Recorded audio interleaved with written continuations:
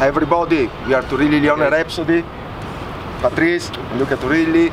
We want just to tell you that uh, on the 22nd of March we will be in Chile, our beloved country, uh, for an amazing show al Teatro Caupolicán, as always, and uh, we'll bring a lot of uh, new stuff, new songs from the debut album Zero Gravity Rebirth and Evolution, uh, some old hits, so really fun for everybody.